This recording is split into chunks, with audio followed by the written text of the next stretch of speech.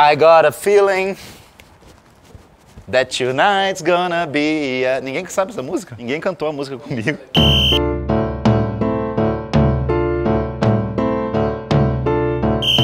Galera, está começando mais um Vagabundagem. Nossa, peraí. Galera, está começando mais um Vagabundagem e hoje fizemos um trabalho investigativo aqui.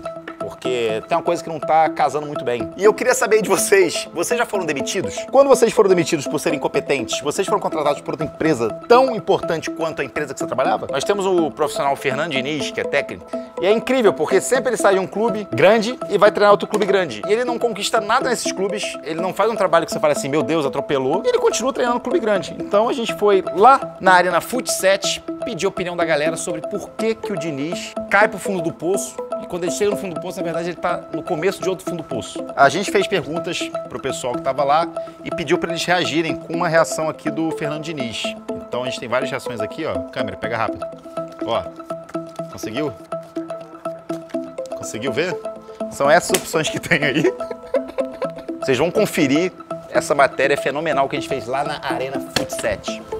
Vai! É você mesmo que eu quero, porra. E aí, belezinha? Nosso Mengão. Cada notícia que chega, a gente vai ficando mais empolgado e.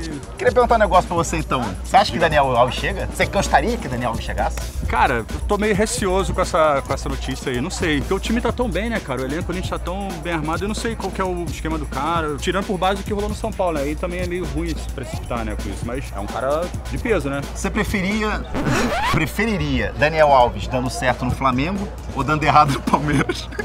Ah, prefiro dando errado no Palmeiras. Queria fazer uma pergunta pra você muito sincera. Tu já foi demitido? Porra, demitido. Deixa eu pensar. Não. Caraca, só eu fui umas quatro vezes, sério mesmo. Eu quero saber um bagulho que é muito bizarro, pelo menos na minha cabeça. A gente tá fazendo um especial do Diniz. E o Ah. Diniz é um cara que, assim, ele ainda não deu muito certo em um clube. Já passou por São Paulo, já passou pelo Santos, passou pelo Fluminense. Só que é um cara que toda hora que ele é demitido, ele vai pra um grande clube. O que, que você acha? Qual que é a mágica? Você acha que é o empresário dele? Cara, é estranho isso, né? Agora, eu tava vendo, inclusive, agora uma, uma reportagem que ele foi contratado, porque ele, ele é, ele é formado em psicologia, eu acho, né? Uma coisa assim. E aí os caras falam, não, o Vasco tá precisando agora, no momento, não é nem de um técnico, é um psicólogo. Então, pegaram o Diniz, porra. Porque a situação que o Vasco tá é só o... Ah, contrata o Barbieri mágico logo, precisa de mágica também, ele. também. Daniel Alves no Flamengo. A gente tem umas reações aqui do Diniz, quero que você olhe e você mostre pra câmera qual que seria a sua reação com o Daniel Alves indo pro Flamengo. Ah, aqui essa aqui é melhor pra mim. Essa aqui é a reação então do Adriano. E no, e no Palmeiras, dando errado? Aqui, ó, cozidinho, cozidinho. Cozidinho? Que o Mengão levanta da taça e o Palmeiras bolado. Ah, esse seria bolado. É. Demorou. Valeu, Adriano, tamo É nóis, junto, cara, é nóis. Nosso querido Diniz, ele não tá fazendo um trabalho muito legal, tá? Pelo visto não, né? mas é um cara que ele sai de um grande clube e cai em outro. Agora ele tá no Vasco, que assim, tá na segunda divisão, mas é um grande clube. O que, que você acha, Aline, que é a magia do Diniz? Cara, o Diniz é, tem um futebol diferente, só que não tem resultado. Ou seja, o time até joga bem quando ele tem um bom, uma, uma boa equipe nas mãos, quando ele não tem nas cores, porque ele, tem- ele gosta de jogar estilo Barcelona, né? Mas você acha que ele ainda tem, assim, um futuro? Ele tem, mas eu tiraria umas férias. Eu acho que Dá um ele tem que tempinho, ficar- é, né? Eu acho que ele tem que parar aí uns seis meses, né? Pra dar uma repensada, né? Achar uma outra fórmula. Você acha que o Diniz vai dar certo no Vasco? Cara, eu torço, torço principalmente pelo meu amigo Gustavo Góes, lá do Menos é Mais também, que é vascaíno roxo. vascaíno? Sofredor, sofredor, tatuado. Então eu tô torcendo, eu tô torcendo pelo bem do Vasco, pelo bem dos amigos, e eu espero que ele faça um bom trabalho lá. Tu é Flamengo? Pelo Vasco, sou palmeirense. Você é palmeirense? Sou palmeirense. Desde moleque, meu irmão, meu irmão era palmeirense, me levou pro... Eu quero então que você me fale aqui qual foi sua reação quando a grande contratação do ano do Palmeiras foi a volta de Deivinho. Vê aqui, ó, a reação do Diniz e fala assim: foi essa a minha reação. Realmente. Eu acho que foi essa aqui, ó. Não foi essa aqui, não? Não foi essa? Olha esse aqui. Essa daqui? E você, você jogou recentemente no Corinthians, né? Faz um Joguei no. Corinthians, é. Foi nasci clube? flamenguista, nasci flamenguista. Passou do norte Santos? do país, né? E Minha vida inteira no Santos e encerrei no Corinthians. Gosto dos três. Gosta dos três. Nada mais, nada menos. Corinthians contratou Roger Guedes, Renato Augusto, é, Juliano e William agora. William foi barrado pela Anvisa. Qual foi a sua reação? Isso é Pô, muito pelo importante. William, né? Pô, era o nome um dos mais esperados. É um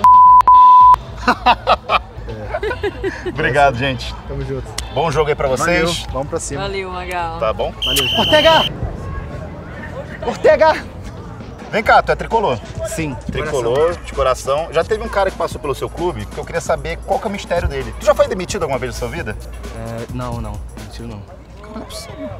O Diniz, sempre que ele sai de um clube grande, ele vai para outro clube grande. E assim, eu não vi ele fazendo grandes trabalhos. No, no Fluminense ele não foi bem. O que, que você acha que é o segredo do Diniz para ele continuar treinando clube grande? É, eu acho que, tipo, o pessoal fala muito do trabalho diferente dele, né? Que dinizismo, tem uma parada dessa aí, que ele gosta de sair jogando, gosta do time, muito toque de bola, inspirado nos times lá, lá da Europa, Barcelona, Bayern. Ele ganhou um nome com isso aí e só foi indo pra clube grande, clube grande. Realmente, eu acho que a única explicação que eu acho é essa. Tem as caretas dele também, eu acho que não sei se perfil dele, né? Você acha que, ah, porque ele fez um trabalho diferente. Se eu começar a ser treinador de futebol e colocar o goleiro pra jogar no ataque, o zagueiro no, no meio campo, o Gandula às vezes entra. Você acha que eu também posso continuar a ter uma carreira longa de treinador? Se for nessa lógica, eu acho que pode. Você tá querendo que eu critique? eu tô percebendo aqui. Eu já, eu já tive com ele, tem uma foto com ele. Eu sei disso, sei dessa história. Pode jogar aí na tela, foto com ele? Você vai ver aqui qual foi sua reação quando você viu o Fluminense sendo eliminado e mostra pra câmera, por favor. Cara, cara, eu fiquei muito. Essa é boa. essa é boa.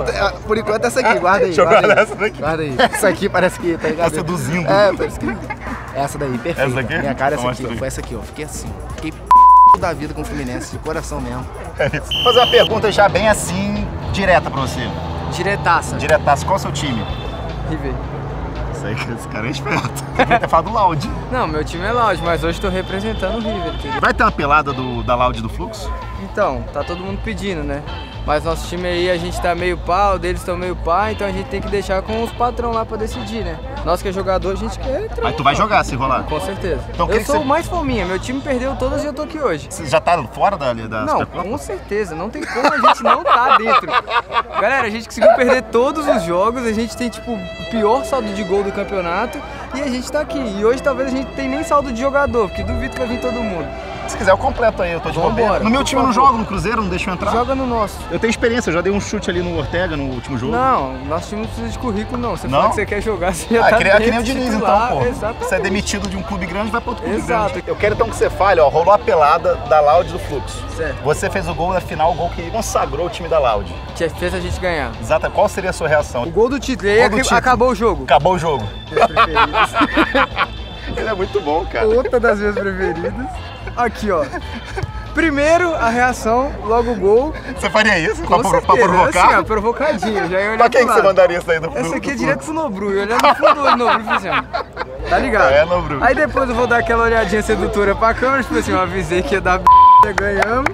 E depois eu ia comemorar com o meu time naquela raça, tipo, boa time, é isso, vamos. Tamo junto comigo. Valeu, nóis. cara. Obrigadão. Obrigado. Esse cara que me revelou. Ah, eu revelei ele. Eu revelei ele. Renegado, renegado. Eu fiz o croma da lenda do herói. É verdade. E ele me- dois cromas da Lenda Ele, do Herói. ele fez meu primeiro cosplay, que eu tenho uma foto lá com a Rei do, Asuka. Cara, você tem vergonha, né? Eu sei. Tá feliz com o nosso Mengão? Cara, tava falando isso agora com os moleques ali. Eu comecei a ver Flamengo em 93. Então pensa só, que eu só peguei a fase. Aí em 2009 a gente teve um momento É, Passamos bom. por coisas É. boas aí. Nesse 93 foi logo depois do título ainda. Sim. Você não viu é, nem eu não vi 92. nada. Pai, papai, papai, quero ver futebol. Tá, o Júnior saiu, tá? Queria fazer uma pergunta pra você. Pergunte. Daniel Alves foi contratado pelo Flamengo. Qual a sua reação usando uma das cores do Diniz? Mostra pra câmera. Tá bom, deixa eu ver entre as opções aqui. Tem alguma que vai ser boa? de, do Diniz? Tem, tem, confia, confia. É porque ele é um cara que é muito demitido, né? Eu não sei se ele tem muita reação boa. Os resultados não são muito bons, assim. Eu acho que essa aqui, porque essa aqui dá sentimentos mistos em relação a. E você pode. Ninguém vai te julgar. É, se tipo der assim- certo, você fala, não, eu tava É feliz. ó. isso! É, tipo assim, ah, o Daniel chegou. Opa! É verdade, é muito bom. Mas você quer o Daniel Alves no Flamengo? Pensando que o Isla não tá trazendo aquele, aquela melhor performance, se não fosse Renato, não tivesse Renato Gaúcho, eu ia falar, não, nem porque o Daniel vai mexer no vestiário e tudo mais. Mas como o Renato Gaúcho é um cara que eu acho que controla mais o vestiário do que o Daniel Alves, talvez ele possa entrar e de fato E ficar acho, e pianinho. acho que tem muita estrela já no Flamengo. O cara Sim. não vai conseguir É. é, deitar lá. E acho que ele outra? vai acabar se tornando parte da parada, sabe? E tem outra parada. Eu acho que ele também, ele quer fazer o seguinte, ele já tem lá 42, 43 títulos. Ele deve estar pensando, cara, quero bater meu recorde assim, pra ninguém superar. Bater uns 50. É, o 50 onde Jogar eu mais posso três ir? anos no Mengão. É, é isso. Joga o Campeonato Carioca, mais três Carioca. De repente ele consegue. Então manda um recado aí pro Daniel Alves que acabou de sair a notícia que ele foi contratado no Flamengo. mesmo? É que foi bom? Valeu. O cara fez igual, cara.